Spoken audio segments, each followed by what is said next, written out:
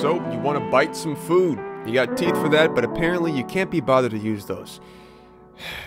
Man, you never appreciate what you got till it's gone. Hey guys, I'm Tuts by Kai. I'm Kai, and today we're back once again taking a look at how to bite food in Blender. Yeah, you heard me right the first time. Let's go ahead and get started real quick. Hit the delete key to delete default cube because we won't be needing him for today. We're going to actually go ahead and make like a little bagel or a donut or whatever. We're to actually go ahead and grab uh, the shift and the A button and hit shift A to grab a torus. Gonna, before we do anything, before we click anywhere, I'm going to open up this little tab down here that says add torus. And we're going to go ahead and change the minor radius. So uh, up and down, you can see I want to make it a little bit thicker of a donut or a bagel or whatever you're using here. So we're going to go with something about like uh, maybe uh, 0.6, maybe something around there. It looks pretty decent.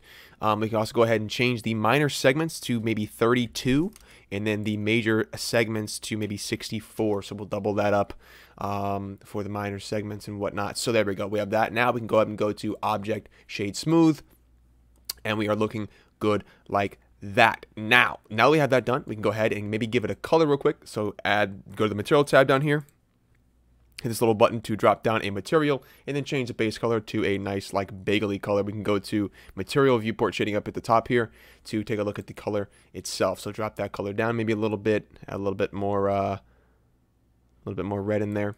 Maybe something like that, I guess. That looks pretty decent. Kind of like maybe a, uh, some kind of uh, do donut or a bagel or something. Who knows? Maybe maybe it's just a, a, a, circular chocolate. Who knows? Okay, it could be anything. All right.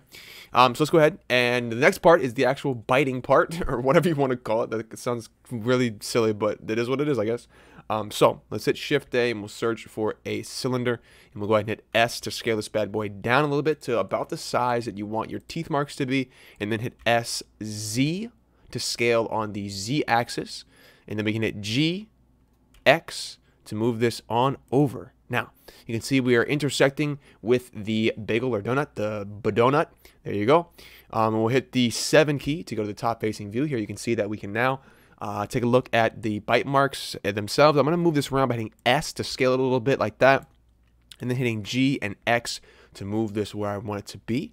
So I'm going to go ahead and hit uh, Shift D once that is in place. And then hit G, Y to move this up. So we have a little bite mark up there. Now you can see this little shape that we're carving out here with this little round edge. Obviously, that's what we're trying to go for. Um, so I'm going to go ahead and uh, also make sure that we have both of these set to object. Uh, oh, wait, sorry, not object. Yeah, object. we have to do each one separately. So object shade smooth, and then this one object shade smooth. We can do them together, but just do them separately anyway. Separately anyway. Um, hit seven to go back into the top facing view. Then hit Shift D, and one more time hit G Y to move this down. Obviously, so we have those three classic bite mark, uh, that classic bite mark shape put that about right there and I think we're good to go. I'm to move these inwards a little bit more because I want the bite to be a little bit maybe more shallow or maybe more deep, not shallow. There we go. So there, there you go. Next thing that I want to do is I think I want to go ahead and actually grab the bagel or the donut itself, the donut, and go to the uh, modifiers tab here, hit add modifier, we'll hit boolean. Um, and what we'll do here is we'll select uh, one of these cylinders. So hit select there, and you can see it actually cuts that piece out if you take a look at that closely. Um, you can see it cuts that little piece out there, which is very, very nice. You can change it to fast or to exact. Um, it's basically the same exact thing for this specific um, for this specific situation. So this little drop down box and apply, and we do the same exact thing two more times. So hit Boolean, um, object, select the next cylinder, then hit just drop down, hit apply, and one more time, uh, add modifier, Boolean, select the object, which is cylinder 002, and then hit drop down, apply. Now we can go ahead and grab all three of these by holding down shift, left click, left click, and hit delete to get rid of those. And you can see now we have a little bite mark in our donut, which is very, very cool. But the issue is this kind of weird in there because it's kind of like, you know, messy or whatever, whatnot, what, what have you. We could have gone ahead and uh, subdivided the um, the cylinders. You can go ahead and do that if you want to. But for right now, this is uh, perfectly fine to me because I think these look pretty decent and we'll go ahead and clean it up in a little bit. Um, so we don't have to add more vertices or more faces or whatever. So it can be as low poly as is possible. Um, go ahead and hit tab. You can see all of the uh, vertices and whatnot.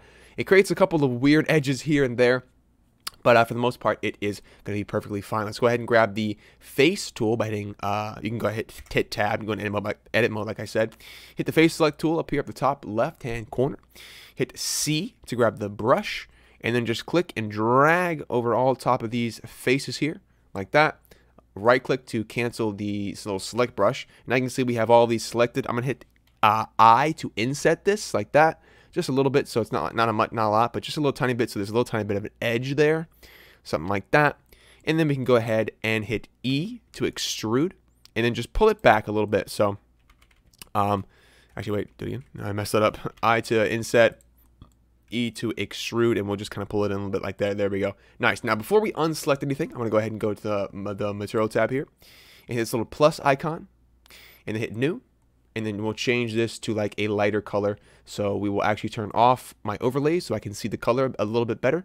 Hit this little assign button and then we can change the base color to maybe like a yellowish tan color.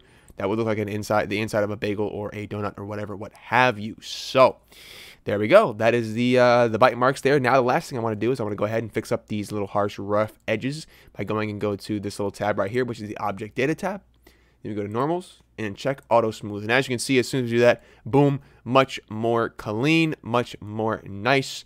Um, last thing I want to do is go back to the uh, back to the materials here. Turn the specular for the inside piece all the way down, and the roughness you can leave it all the way down as well. And then for the actual bagel itself, we'll go ahead and turn up the specular a little bit bagel, donut, whatever it is.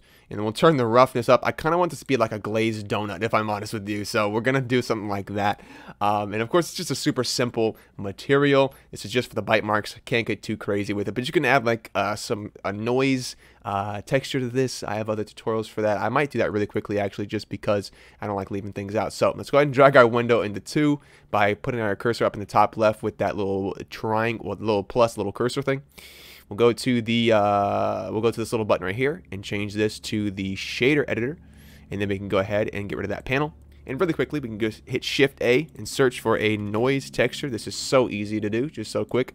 Grab that, put the color into the specular. We can put it into roughness as well, depending on which one looks better.